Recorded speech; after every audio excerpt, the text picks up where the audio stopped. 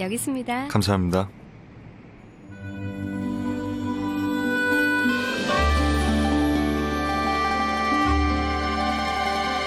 가끔 약속 시간에 늦을 때가 있죠.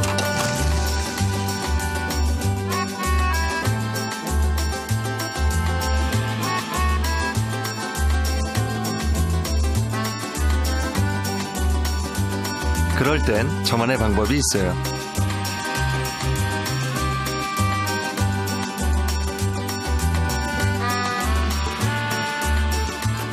정말 특별한 것을 준비하는 것.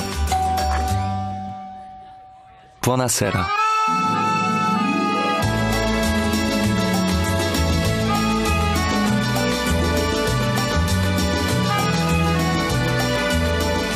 표현하세요. 이탈리안 감성 그대로.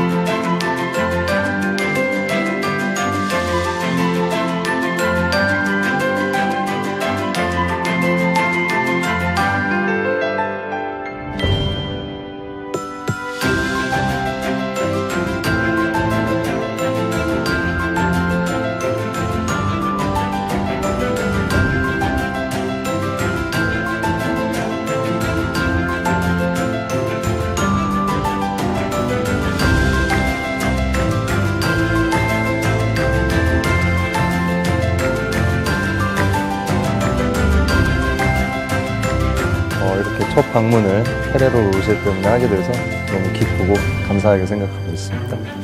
Now we finish, so you have to cut. Cut.